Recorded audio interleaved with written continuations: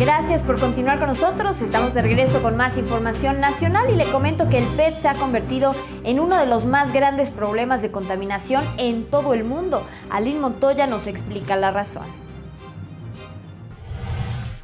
Los productos hechos de PET han sido destacados por la posibilidad que existe para reciclarlos. En el mercado existen infinidad de productos que se realizan a partir de la reutilización de estos productos hechos con este plástico. Sin embargo, la producción de este material está sobrepasando por mucho la capacidad para su reciclaje. Puede reciclar, pero hay una exagerada producción de PET que supera la capacidad de las recicladoras para reciclar ese PET.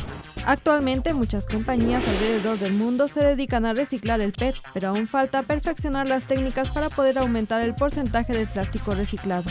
En principio no se separa adecuadamente, entonces generamos un gran volumen de PET que no lo separamos adecuadamente y que a la hora de que se quiera reciclar se tiene que invertir un costo adicional para su limpieza, es decir, como lo mezclamos con otros productos, ese PET para poder pulverizarlo, para obtener pellets, se tiene que lavar, entonces ya tuvimos que utilizar agua.